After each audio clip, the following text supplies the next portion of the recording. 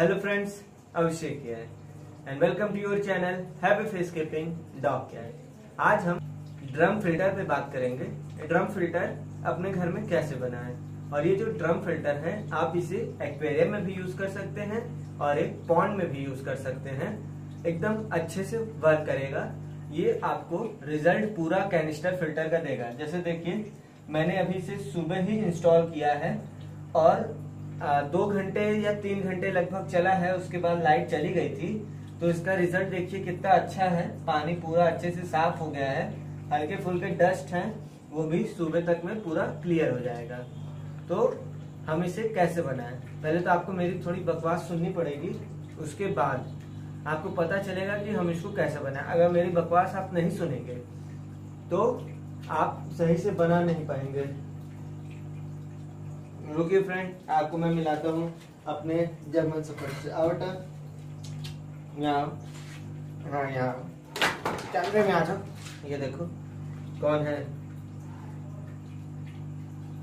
ये भी मेरे साथ हमेशा साथ देने के लिए आ जाती है कि हम कभी अकेले ना पड़े वीडियो बनाते टाइम चलो, जाओ। तो हमें बना लेना दो वीडियो। ठीक? तो हम कहाँ पे थे कि आप इसे सुबह तक ये पानी एकदम साफ़ हो जाएगा। तो आपको मेरी थोड़ी सी बकवास सुननी पड़ेगी। अगर आप बकवास नहीं सुनेंगे तो आप पूरी तरह से एक ड्रम फ़िल्टर तैयार नहीं कर पाएँगे और कुछ गलती होंगी जिससे आपके वाटर फ्लो होने का पूरा चांस रहेगा। पूरा के गारंटी 100 परसेंट वाटर फ्लो हो जाएगा। तो चलिए शुरू करते हैं। पहले तो इसके लिए आपको क्या क्या ज़रूरत है? इस ड्रम फ़िल्टर को बनाने के लिए आपको कौन कौन सी चीज़ें चाहिए? ठीक है? तो आपको सबसे पहले एक ड्रम चाहिए। बड़ा सा, आप मार्केट में खरीद सकते हैं।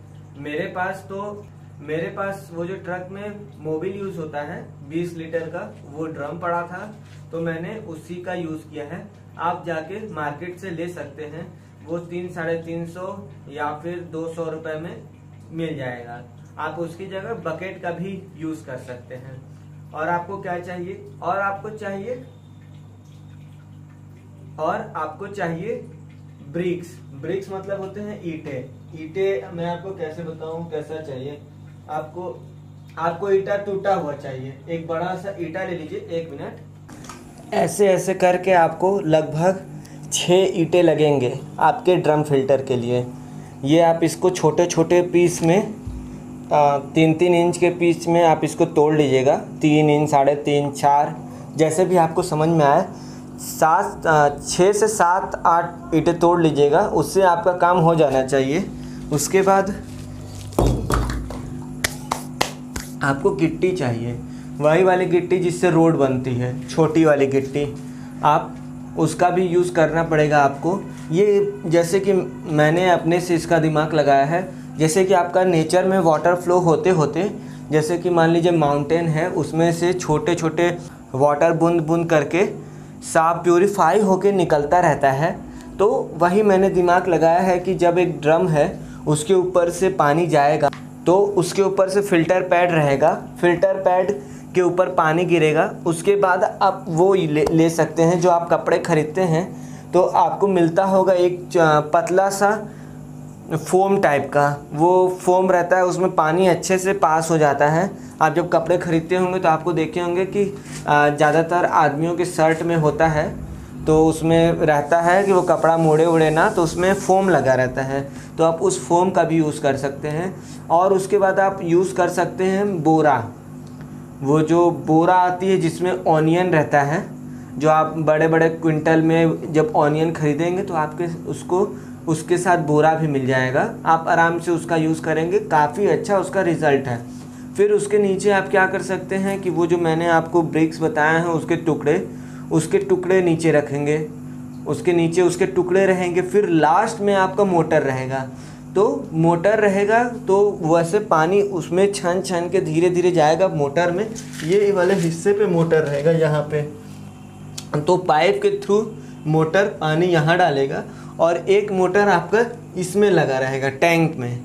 टैंक में जो मोटर लगा रहेगा, वो पानी आपके टैंक में देगा। मैंने वीडियो में सारा चीज़ दिखा रखा है, बस आपको अच्छे से वीडियो देखना है और आपको सब समझ में आ जाएगा। कोई दिक्कत नहीं होगी आपको। अगर आपको कोई दिक्कत हो तो मुझे कमेंट करके पूछिएगा, मैं आपको सब बताऊँगा।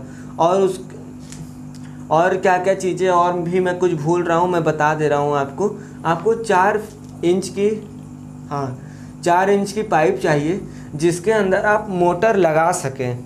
जो ये मोटर आती है कूलर वाली, उसको आपको उस चार इंच के पाइप के अंदर लगानी है। सपोज़ करिए कि ये पाइप है, और इसके अंदर हमको मोटर लगानी है। और ये समझ लीजिए कि ये मोटर है तो आप इसे जब ऐसे इसमें डालेंगे तो ये ऊपर ही में रहेगा, ठीक है? तो ये नीचे का जो पानी रहेगा, वो सक करके वापस आपके टैंक में डाल देगा तो इससे आपका मोटर भी नहीं चलेगा। और ये मैंने इस फ़िल्टर को कम से कम डेढ़ साल, एक साल हो गए हैं मुझे यूज़ करते हुए, और मैं एक साल बाद इसका क्लीनिंग करने गया था तो मैंने सोचा कि आपको एक अच्छा सा वीडियो बना के दे दूँ इस पर कि आप अपने पॉन्ड में, और अगर आपका मन करे तो आप अपने एक्वेरियम में इसका यूज़ करें। ये बहुत ही अच्छा फ़िल्टर है, एक बार घर पे बना के देखिएगा देखिएगा आपको रिज़ल्ट कैसा मिलता है। अभी ये तीन घंटे हुए हैं काफ़ी चले हुए। तो तीन घंटे में काफ़ी अच्छा मुझे रिज़ल्ट दिख गया है। थोड़ा सा सेटअप चेंज करने के चक्कर में मेरी जॉइन गौरा में को चोट भी लग गई थी काफ़ी, लेकिन अब ये बहुत अच्छी हो गई है। आप बताइएगा कि मेरा सेटअप कैसा लग रहा है आपको? मैं थोड़ा सा इसके साथ खेल भी रहा हूँ, क्योंकि हॉबीज़ का मतलब यही होता है कि अपने फिशेस फिशेस के साथ इंजॉय करना। तो मेरी जॉइंट गौरा में काफ़ी ज़्यादा मुझसे अट्रैक्ट होती है। मुझसे कम मेरे फिंगर से ज़्यादा अट्रैक्ट होती है। ये देखिए। इसका ध्यान इसका ध्यान सिर्फ़ मेरे फिंगर पे है। देख रहे हैं कैसे खेलती है। और इतनी अच्छी फ़िश है कि मैं क्या बताऊँ आपको। इसके अलावा मुझे कोई फ़िश ही अच्छी नहीं लगती है। तो ये मेरे टैंक में फोर फीट का टैंक है। इसी में ये रहेगी जब तक इसकी लाइफ है। मैं इसका केयर बहुत अच्छे से करता हूँ। तो ये काफ़ी अच्छे से रहेगी। तो चलिए शुरू करते हैं। आप बकवास तो आप सुन लिए। अब मेरा वीडियो भी देख लीजिएगा, तभी आपको समझ में आएगा, नहीं तो नहीं समझ में आएगा। थैंक यू चैनल को शेयर सब्सक्राइब और कमेंट करिएगा। कमेंट करके बता दीजिएगा कि किस पे टॉपिक बनानी है, आपका भाई बैठा है आपके लिए वीडियो बनाने के लिए।